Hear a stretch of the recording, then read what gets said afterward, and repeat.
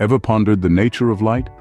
What if I told you light behaves not just as a wave, but also as a particle?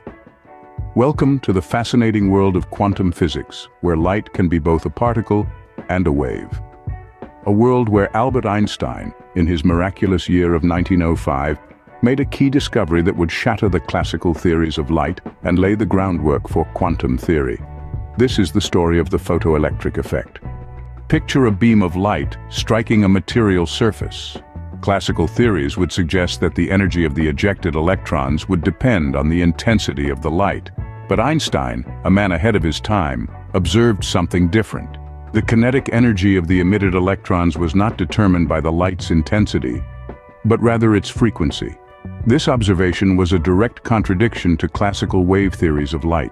Einstein proposed a radical idea.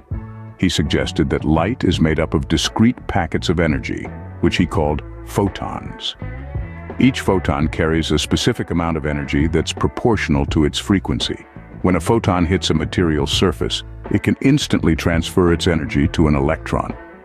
If the photon's energy is greater than the material's binding energy for electrons, the electron is ejected. This theory of light where it is quantized into discrete packets, explained the experimental results of the photoelectric effect and provided a key insight into the particulate nature of light. But the implications of Einstein's discovery didn't stop there. His work introduced the concept of the photon, an elementary particle with both wave-like and particle-like characteristics. This marked a significant departure from classical wave theory and contributed significantly to the development of quantum mechanics.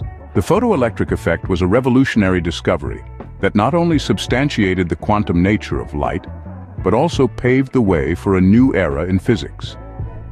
It ultimately led to the establishment of quantum theory as a cornerstone of modern physics. So, to quickly recap, the photoelectric effect discovered by Albert Einstein in 1905 demonstrated that light behaves as both a particle and a wave. This discovery contradicted classical wave theories of light and introduced the concept of the photon. The photoelectric effect played a pivotal role in the development of quantum theory, ushering in a new era in the field of physics. The understanding of the photoelectric effect and the dual nature of light has been instrumental in shaping our understanding of the quantum world. It's a testament to the power of curiosity and the relentless pursuit of knowledge it's a reminder that even the most established theories can be upended by a single observation.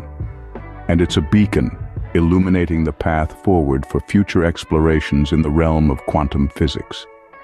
This is the legacy of the photoelectric effect, a discovery that forever changed our understanding of the nature of light.